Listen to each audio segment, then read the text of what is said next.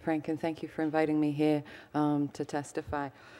In Our Own Backyard is a very fitting title um, for this hearing, and I think the, the predominant response over the last few years has been not in my backyard to this issue. We've had a tough time um, getting people to recognize that this is really happening. And you quoted some stats earlier 100,000 youth, 300,000 youth potentially at risk for sexual exploitation in this country. So we know when we're faced with the reality at this point that this isn't something that's only happening in other countries to other people's children, but it's happening here. While the Trafficking Victims Protection Act was passed in 2000 and reauthorized three times since. It's only really recently that there's been a concerted effort to view and treat American girls as trafficking victims.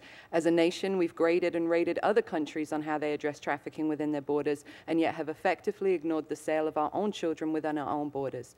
We've created a dichotomy of acceptable and unacceptable victims, wherein Katia from the Ukraine will be seen as a real victim and provided with services and support, but Keisha from the Bronx will be seen as a willing participant, someone who's out there because she likes it, and who is criminalized and thrown in detention or jail. We've turned a blind eye to the millions of adult men in this country who create the demand because they believe they have the right to purchase another human being. We've allowed popular culture to glorify and glamorize the commercial sex industry, and particularly pimp culture. Our policies and economic choices have left huge numbers of children at risk for many things, including commercial sexual exploitation, simply because of the zip code they live in. And we've allowed the juvenile justice and criminal justice systems to treat victims of heinous violence and abuse as criminals, while the adult men who've bought and sold them go free. We've sent 12, 13, 14 year old girls to juvenile detention facilities and ignored the fact that these children aren't often even old enough to legally consent to sex and are in fact statutory rape victims. Today's hearing signifies how far we've come in beginning to address this issue and that there is real change afoot. The attention of the federal government is critical in addressing this issue, and the presence of representatives from law enforcement, the Department of Justice, and the State Department's Trafficking Persons Office demonstrates significant progress in the recognition of what's happening to children in our own backyard. Slowly, we're beginning to use the appropriate language, recognizing that calling children who are victims of rape, sexual assault, and violence prostitutes is neither helpful nor accurate. Using the terminology child prostitution or child prostitute conjures up stereotypes and misconceptions about who these children are and how we should treat them. One of the most important things for the domestic violence movement was naming what was happening and giving it an accurate name. It was violence and it was happening in a domestic situation. It's critical that we accurately label this crime against children as commercial sexual exploitation and domestic trafficking. In doing so, we can begin to make the shift from treating these youth youth as criminals and instead treating them as victims, which they rightfully deserve.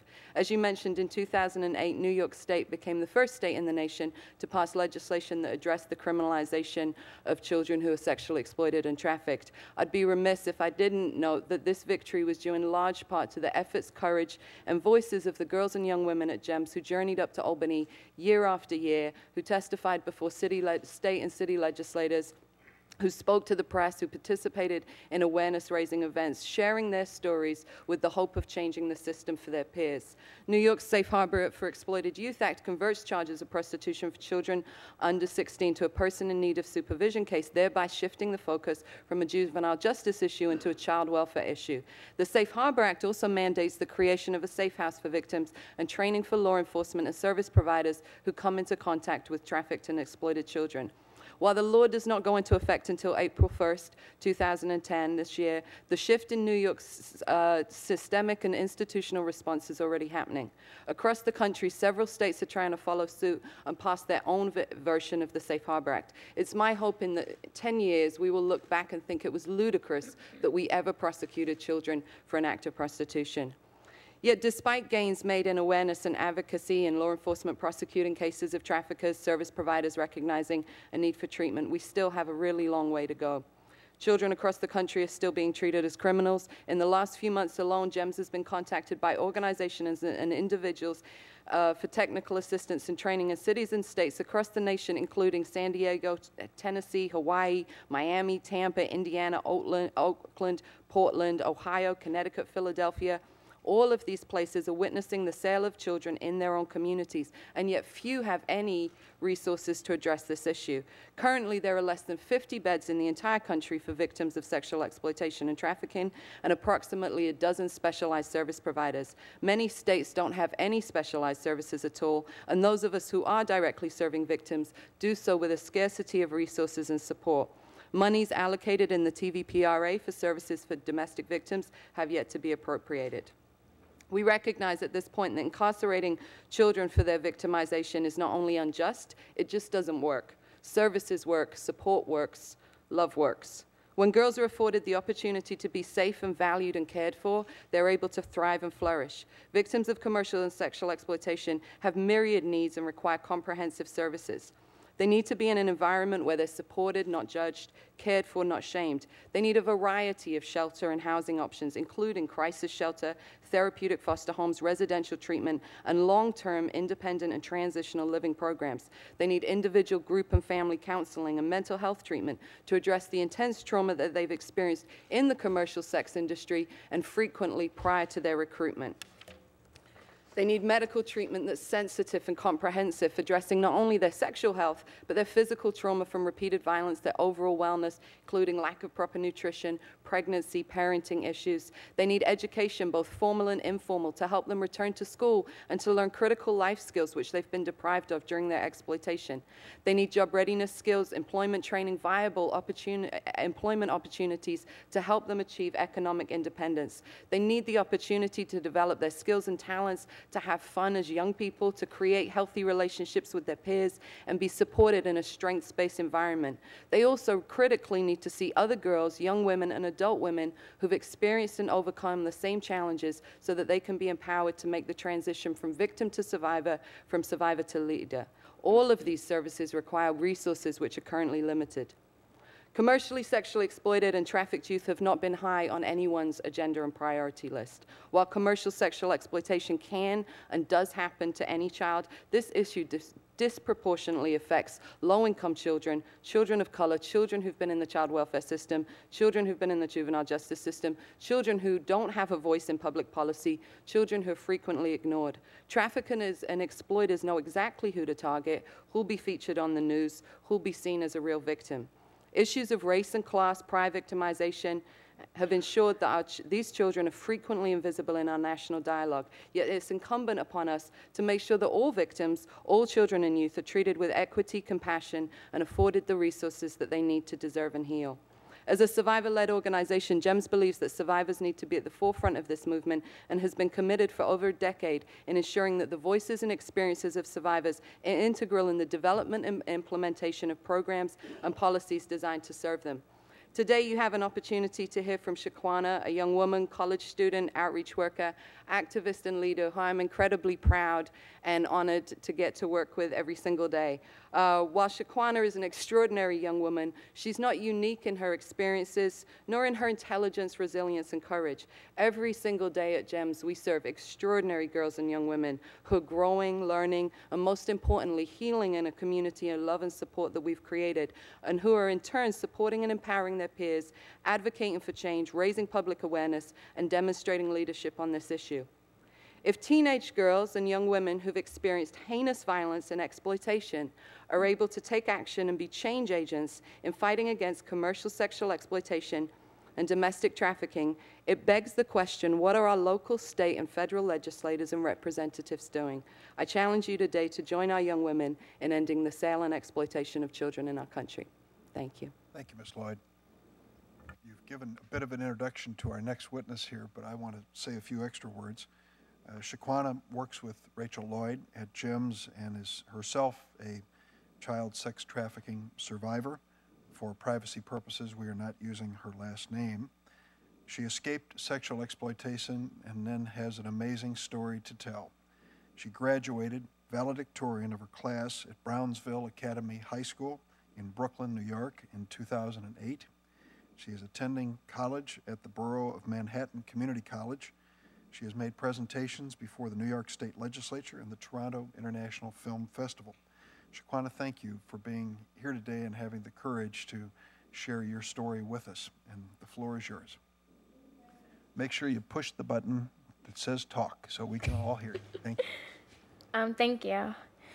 Um, my name is Shaquanna, and I'm a survivor of commercial sexual exploitation and domestic trafficking. I was getting ready to graduate from the eighth grade when I met a man in my neighborhood. I shared everything about myself with him. He seemed like a complete gentleman. Yet soon, at only 14 years old, I was being manipulated and physically abused to sell my body for this man who was a pimp. I didn't have anyone in my life that I could have been completely honest with about what I was doing without them judging me. I was afraid and often felt like everything I was experiencing was all my fault. I was living in this big world, but I felt so small and alone. I cried myself to sleep many nights because I was very unhappy with my life, but had no idea how to escape. At only 14, I got arrested and sent to a juvenile detention facility. Jail just made me feel even worse. I was made to feel embarrassed and ashamed for everything that I had experienced. I never received counseling and was left to figure things out on my own. It was there, though, that I learned of GEMS through the outreach team, which was for girls that had been through the same things I had been through. When I finally got out of jail after several months, I was mandated to GEMS.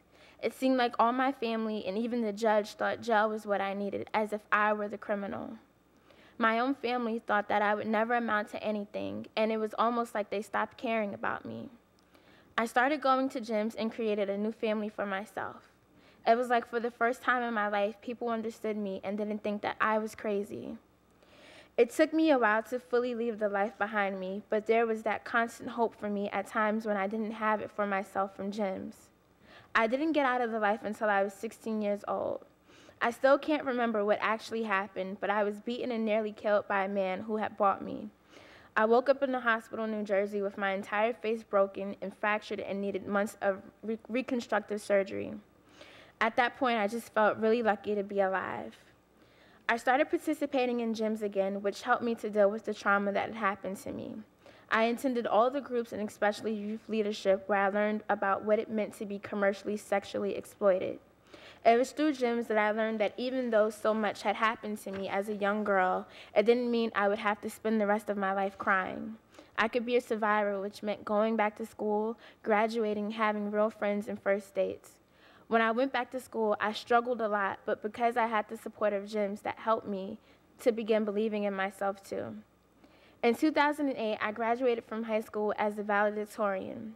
That was one of the most happiest days of my life because it was a testimony to how much I'd overcome. Now I'm in college. Now I'm in college. Being in school means a lot to me because at one time I didn't think I would ever make it. At GEMS, I know at GEMS, I now help run our Educational Initiative program. As we all know, education is very important, and a lot of our girls, after getting into the life, are forced to have to stop going to school. Our educational initiative was designed to help our girls go back to school and assist them with whatever they need help with. Having this program at GEMS is very important because at one time I felt like I would never be able to do anything productive with my life, but I know that I can. It's important that our members see me as an example and know that if I can do it, they can too. Today, I also work at GEMS as an outreach worker. I travel to juvenile detention facilities, group homes, and schools to educate girls on the issue of commercial sexual exploitation and trafficking. This is very important to me because a lot of the times the girls have no idea what really goes on, and if I can reach them before an exploiter ever does, they will know the truth of what the life really offers. I let them know that if they have been a victim of trafficking, there is a place where they can get help and won't be judged. As I travel to juvenile detention facilities, I see the same victimization by the staff is still happening to the girls, and it's important that I am there to let them know that what happened to them isn't their fault. I was a part of helping get the Safe Harbor Act passed so that girls will no longer be sent to jail for having been commercially sexually exploited. Girls will now be recognized as victims and will receive services. Most importantly, though, I think the Safe Harbor Act will help people see who the real perpetrators are. I would like to thank you for listening to my testimony of what I have been through as a survivor of commercial sexual exploitation and hope that you were able to see how young women that have been commercially sexually exploited need support, not jail. And, and that will help them begin rebuilding the type of lives that we all deserve. Thank you. Shaquanna, thank you. I mean it from my heart you would come here today and tell this story because it really puts a face on the issue. Uh, and as you're serving as an outreach worker, uh, and you're in contact with young girls who are in the life, as you call it, what are they looking for to leave? What does it take to get them to leave that life? Um, I think what they have to begin to understand, you know, is they start to see that there is a safe place and it's something totally different that they've probably never had in their life. And it takes them time and they need people that are going to be patient with them and understand them and see the things that they've went through and help them to understand that they're not a bad person, that it's not their fault and to begin offering them the, you know, that you can go back to school and that you can start your life entirely over and that what happened to you in the past doesn't mean that this has to be how the rest of your life is going to be. So, are they afraid of the pimps if they leave, that the pimps will come after them? Um, a lot of times, girls are scared that even if they testify against them, that they might get hurt for doing that. Um, a lot of times, the girls, you know, they're just scared or they love them, and they don't want to do it. You know, at that time, they're not ready for that. And what do you do? What do you offer to them? What do you say to them to try to convince them that it's worth the risk? Um, I think they begin. They have to understand what happened to them is wrong and that it wasn't their fault. A lot of times, girls feel like it was their choice, and you have to show them that you know that you were manipulated. You know that this person doesn't care about you, and that this is what they're using you for. So you were put in jail, and you say in your testimony that you were mandated to the GEMS program, which Mm-hmm. I assume means that when you left jail, you had to go to this GEMS program. So Yes. The jail experience was awful, just mm-hmm. terrible as you described it, but it did result in your connecting up with this GEMS program. I mean, not what actually happened was through the outreach program coming there, they were able to. That's how I met up with them. I was able to find a case manager. They set me up with that, and you know, they told me that I could go home to this program, or if I would have never found out about GEMS, then I was gonna go upstate. So it was through like my own luckiness, I guess. So, Miss Lloyd, your GEMS program, um, how many young people like uh, Shaquanna are part of it uh, each year? I mean, uh, have you been in existence for a few years now? We've been serving girls and young women for over Make sure 12. Oh. We've been serving girls and young women for over 12 years now. Um, last year, we served 275, 280 um, girls and young women who were all victims of commercial sexual exploitation. So, as I was trying to get Shaquanna to give us a little bit of an idea, a picture of the kind of mindset that the victim brings uh, to a place like GEMS. And I know the self-esteem is a big issue here. Uh, obviously, it is. But in terms, you went through a long litany and list of things that these young people need. Um, and what would you say is the one thing that uh, really does make a difference in terms of their deciding to turn their lives around and turn into a success like Shaquanna? Honestly, I think it comes down, and this is a hard thing to like legislate, but I think it comes down to real, genuine relationships and support. Um, I think we have a phenomenal staff. I think the fact that we are a survivor-led organization, we have young women who are survivors who are part of the organization. We have women who aren't survivors who are part of the organization who are incredible allies. Um, those relationships, I think, begin to. You have to help somebody replace what they've experienced. You can't just take away this sense of kind of support, love, dependence upon the, the trafficker or the pimp without helping replace it with something. And so you need the wraparound services, but you need to have real relationships um, in that service too.